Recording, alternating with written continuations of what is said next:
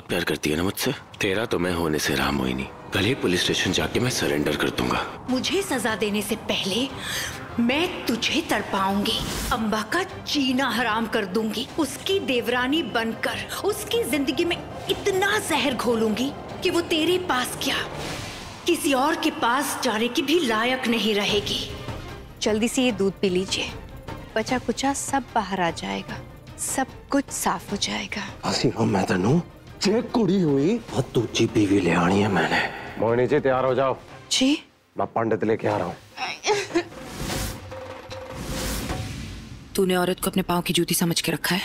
कि जब मन चाहा सर पे बैठा लिया और जब मन चाहा उठा के नीचे फेंक दी। सोड़ पर जाई। मेरे मामले में टांगना रहा। ये मेरा निजी मामला है। जितना दूर रहेगी उतना ही अच्छा है तेरे लिए।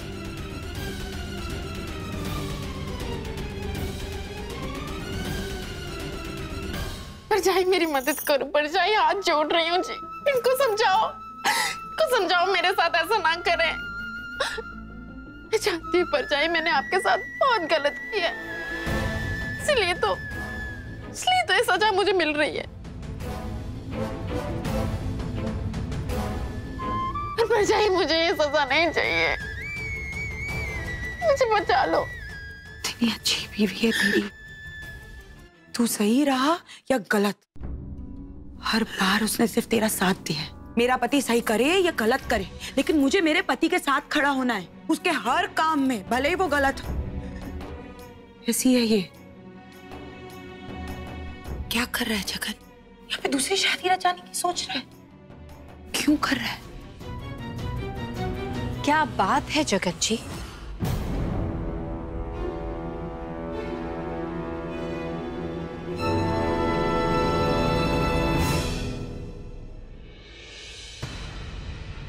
आपकी परजाई को अपनी ज़िंदगी से ज़्यादा आपकी ज़िंदगी में दिलचस्पी है। ऊपर जाई तुझे कहना मैंने? मेरी निजी ज़िंदगी में टांग ना अड़ा।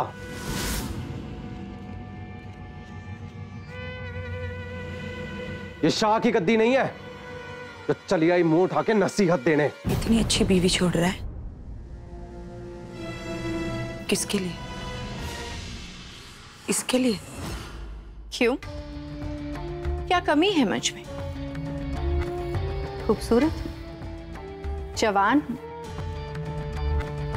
प्यार करती हूँ जगन जी से। जानती हूँ कि वो पहले से ही शादीशुदा है। फिर भी उनकी दूसरी बीवी बनना मंजूर है मुझे।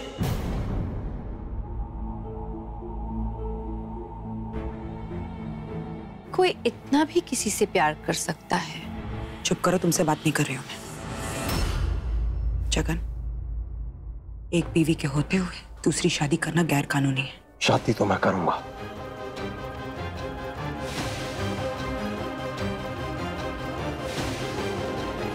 तुझसे जो बान पड़े कर ले।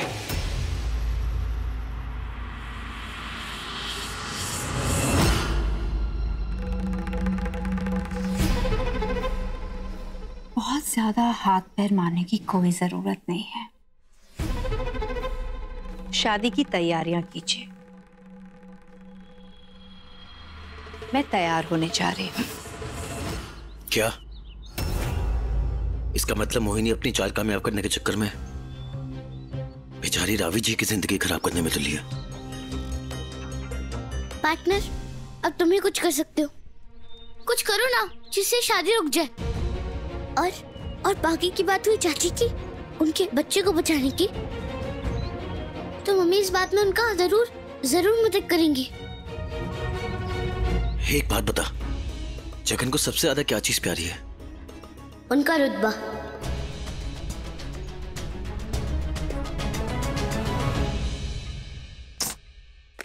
सरपंच का फ़ोन नहीं लग रहा है। हाय रब्बा क्या होगा जी? मुझे लगता है मुझे खुद ही सरपंच के पास जाना पड़ेगा और उनसे बात करनी पड़ेगी। पर परजाई मैं क्या आप सही कह रहे हो? आप चले जाओ जी। जगन को तो मैं ये करने नहीं दूँगी। ये शादी तो नहीं होगी। तू रो मत। मैं बस यूँ गई और यूँ आई। रोना बंद कर।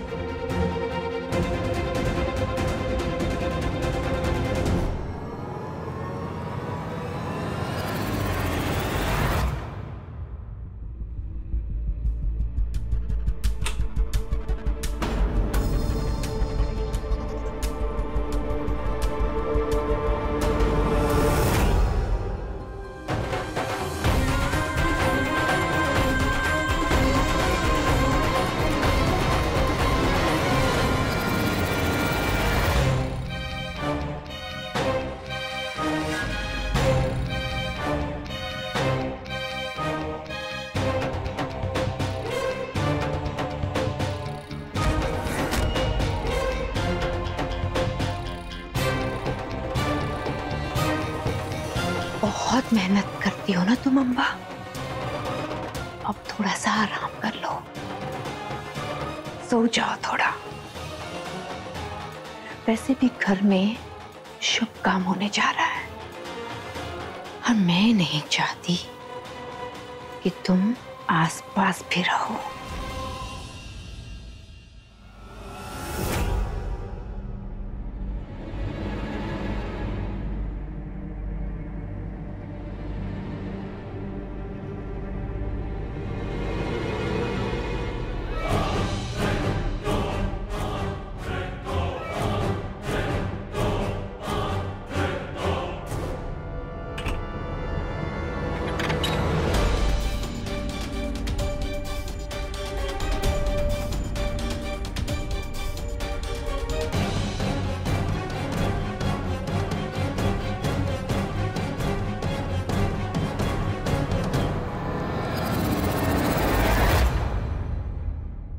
मम्मी कहाँ गई? अरे गुंजन इस पर जाई ना पंचायत बुलाने गई है।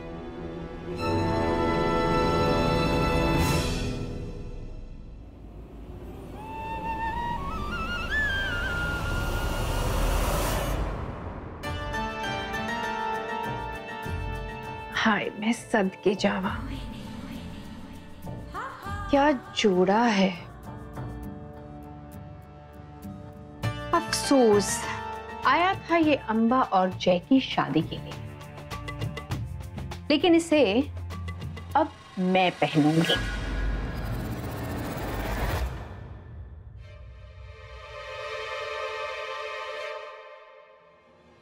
ए, लड़की, इधर आ।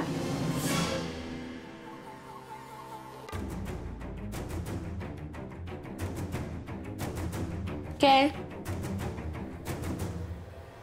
तेरे घर में आलता है? हाँ है।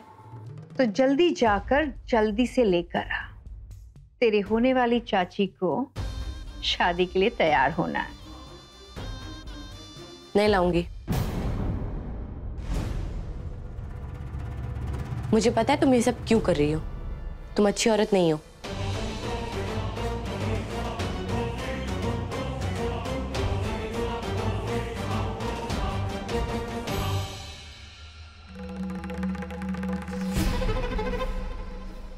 सही कहा बेटा मैं बिल्कुल भी अच्छी नहीं हूँ। लेकिन जो मेरे पाले में रहता है ना, वो ऐश करता है। आज के बाद मैं तेरी चाची बनने वाली हूँ। और अगर सही पाले में रहेगी तो राज करेगी। वरना मोहिनी का काटा हुआ पानी नहीं माँगता। बता। कहाँ रखा है आलता? वो वो उधर स्टोर रूम में रखा है।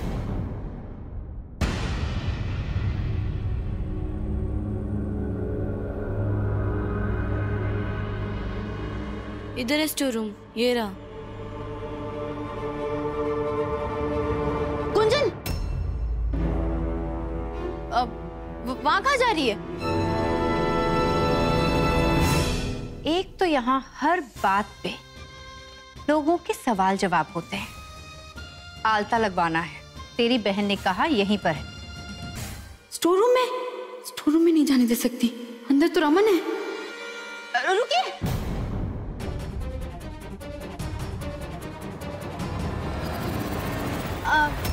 तुझे क्या मौत आ गई? आ, वो चाची आप नई दुल्हन है ना? ऐसे अच्छा नहीं लगता तो मैं अंदर जाके आपके लिए आलता लेके आती हूँ। क्या बात है? आज तेरे मुँह से बड़े फूल झड़ रहे हैं? हाँ वो चाची क्या है ना जो रावी चाची है ना हमारे मम्मी के साथ ना हमेशा उन्होंने गलती किया है। कभी अच्छा किया ही नहीं तो मुझे वो इतनी अच्छी नहीं लगती। मैं हमेशा है ना जी से दुआ मांगती थी कि हम लोगों को कोई अच्छी चाची मिले, जो हमसे बड़ा प्यार करे और देखी है, रब ने सुन भी ली। आप कितनी अच्छी हो। तो मैं अंदर जाके आलता लेके आती हूँ। मैं मैं चाहती हूँ कि मैं खुद अपने हाथों से आपके पैरों में आलता लगाऊँ।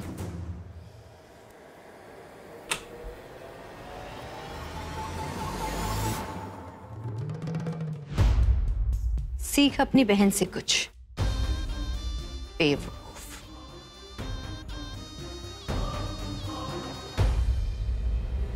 दीदी ऐसा अजीब बर्ताव क्यों कर रही है दो दिनों से? क्या परेशानी है उन्हें?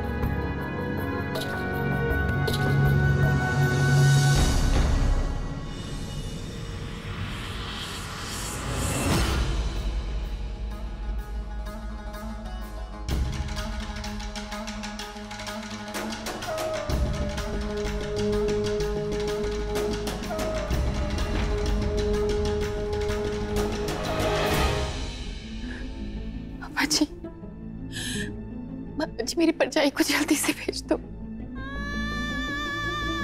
मेरी दुनिया लुट जानी है।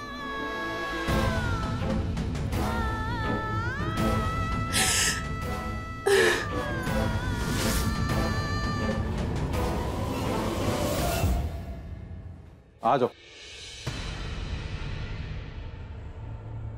आ जाओ।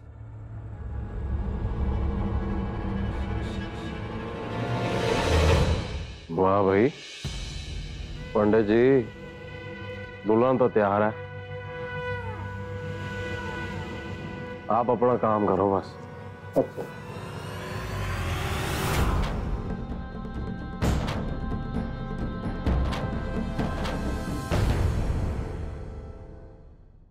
हरि ओम ओम श्री गणेशाय नमः। प्रारंभे निर्विघ्नमस्तु। ओम अपवित्रः पवित्रो वा सर्वावस्थां गतोऽपि वा। य स्मरेत् पुण्डरीकाक्षं तवा ह्याभ्यन्तरः ओम अग्निं प्रज्वलितं वंदे जातवेदो हुतासनः समृद्धिं विस्तुतो मुखम्। ओम अग्नये नमः नमस्कारं समर्पयामि। बोलिए पंडित जी क्या करना आप? जगन बाबू दुल्हन को बेदी में लेके आई।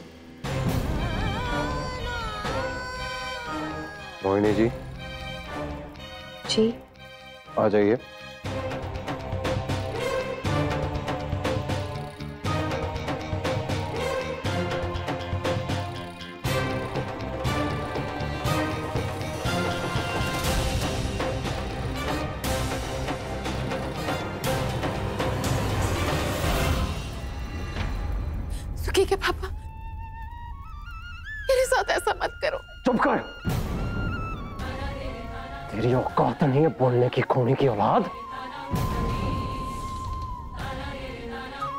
तुझे घर में रहने दे रहा हूँ ये मेरा बड़ापन है। अगर घर में रहना है और चुपचाप इस शादी में शामिल हो जा। नहीं तो अपना बोरिया बिस्तरा बांधा निकाल यहाँ से। क्या करना पड़ने से गठबंधन करवाइए।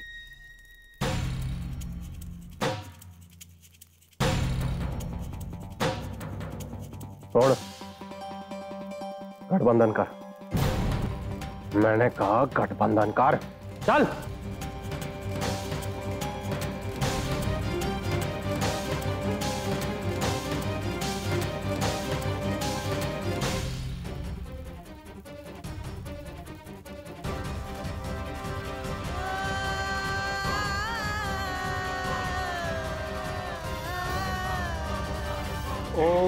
तदेव लग्नं सुदिनं तदेव ताराबलं चन्द्रबलं तदेव विद्याबलं देवबलं तदेव लक्ष्मीपते ते गृहीष्यामि मन्नू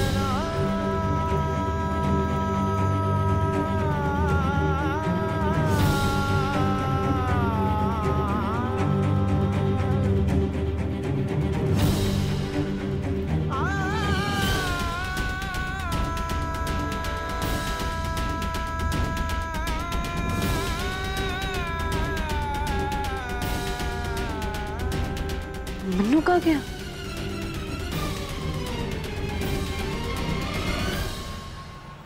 चाचा!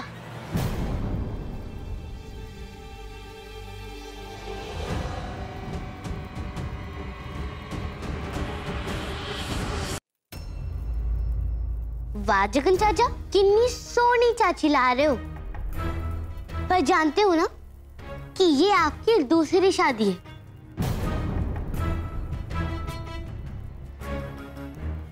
साला माँ बेटे को चैन नहीं है। हाँ है। कर रहा हूँ शादी दूजी? तुझे शामिल होना है शादी में? खाना लड्डू शादी का? आ जा फिर नीचे। चलो अच्छा है। लेकिन मेरी सोनी चाची की पहले कितनी शादी हो चुकी है? ये जानते हैं?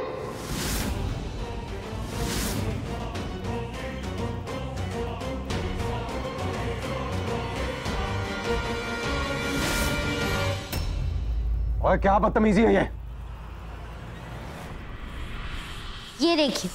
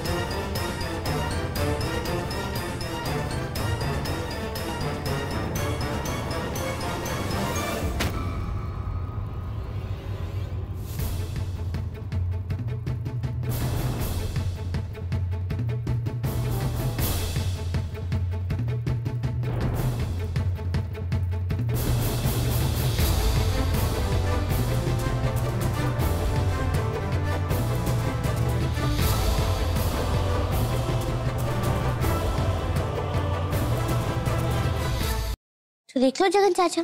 मेरी प्यारी सी चाची की सारी शादी की तस्वीर। फिर बताओ, शादी का लड्डू कहाँ रखा है?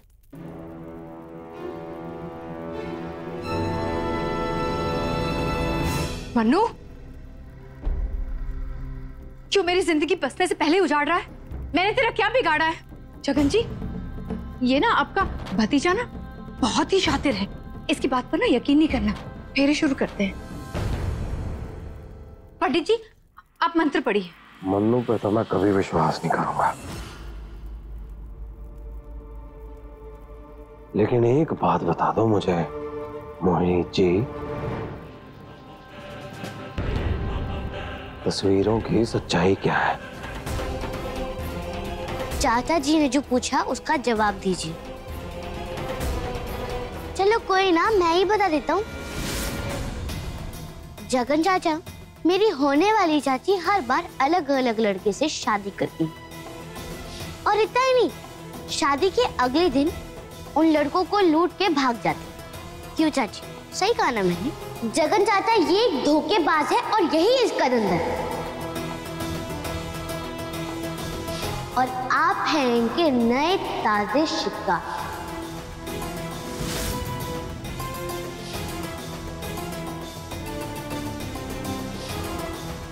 जो मेरा फ़र्ज़ था वो मैंने पूरा किया।